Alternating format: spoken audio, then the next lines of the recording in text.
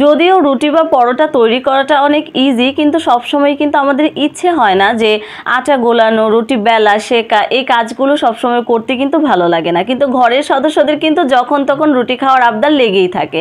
তাই আমি একদিন কষ্ট করে সারা সপ্তাহের জন্য রিল্যাক্সে থাকি।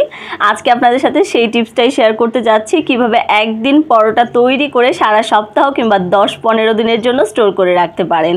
আমি প্রথমে তিন কাপ পরিমাণ ময়দা নিয়ে নিয়েছি, দিয়ে দিয়েছি এক চামচ লবণ, দেড় টেবিল চামচ দিয়ে দিয়েছি চিনি আর এখানে চার টেবিল চামচ দিয়ে দিয়েছি রান্নার তেল।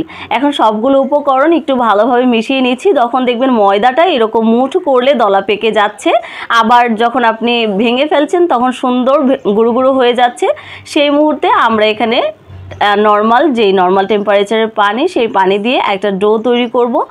শুরুতেই অনেকটা পানি দিয়ে ফেলবেন না, অল্প অল্প পানি দিয়ে আস্তে আস্তে করে ডোটা তৈরি করতে হবে যেন খুব বেশি নরম হয়ে না যায়। তাই আমি অল্প অল্প করে পানি দিয়ে এরকম সফট একটা ডো তৈরি করে নিলাম। এখন এই ডোটাকে আমি ঢেকে রেখে দেব প্রায় এক থেকে দেড় ঘণ্টার জন্য। আপনাদের হাতে সময় না থাকলে, এতটা সময় রাখার প্রয়োজন নেই।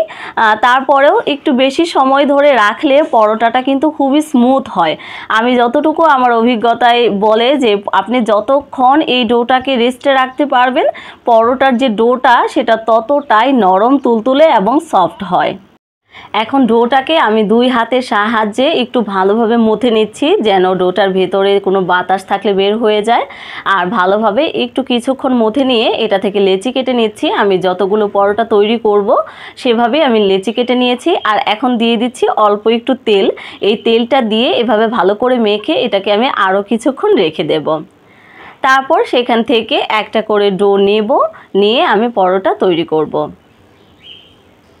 এই টিপসটা ফলো করলে আপনার পরোটাগুলো বেলতে একদম খুবই সহজ হবে আর পরোটা বেলার সময় আপনাকে কোনো কষ্ট করতে হবে না আমি এরকমভাবে বেলে নিয়েছি, আমি যদিও পরোটা বেলায় এত একটা এক্সপার্ট না, আপনারা জানি আরও ভালো করে বেলতে পারবেন। আমার পরোটাটা গোল হয়নি, তাই আমি এখন হাতের সাহায্যে যখন তাওয়াই দিয়েছি, তখন হাতের সাহায্যে বেলে নিচ্ছি।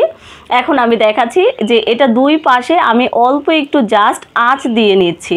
পরোটাটা একদম ভেজে ফেলবেন না জাস্ট দুই সাইডে অল্প একটু আঁচ দিয়ে হালকা সেকা যেটাকে বলে, একদম হালকাভাবে আমি পরোটাটা সেঁকে নিচ্ছি।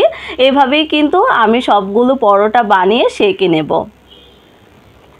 এখন সবগুলো পরোটা এভাবে হালকাভাবে সেঁকে নিয়ে আমি ঠান্ডা করে নিয়েছি।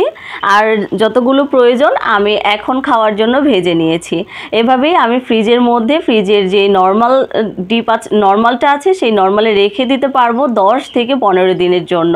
আলহামদুলিল্লাহ দেখ, দেখুন তিন দিন পর আমি রুটিগুলো বের করেছি। এখনও কিন্তু রুটিগুলো আমার খুবই চমৎকার আছে। একটা রুটি আমি ভেজে দেখাচ্ছি যে কতটা এগুলো ভাজার পরে সুন্দর হয়। আর এটা যদি আপনি মনে করেন যে এটা আপনার জন্য হেলদি হবে না কিংবা কোনো ক্ষতি হতে পারে ফ্রিজে রেখে খাওয়াটা, আমি বলব যে এটা কখনোই হবে না। কেননা আপনি কিন্তু রুটিটা শেখে তারপর ফ্রিজে রেখেছেন আর যথেষ্ট সুন্দরভাবে এটাকে স্টোর করেছেন। আলহামদুলিল্লাহ এই রুটিগুলো একদম খুবই স্বাস্থ্যসম্মত। আমরা সবসময় এভাবেই খেয়ে থাকি, যখন তখন মন চাইলেই ভেজে ভেজে খেয়ে ফেলা যায়। আশা করব টিপসটি আপনাদের কাছে ভালো লেগেছে। সবাই ভালো থাকবেন। আল্লাহ হাফিজ।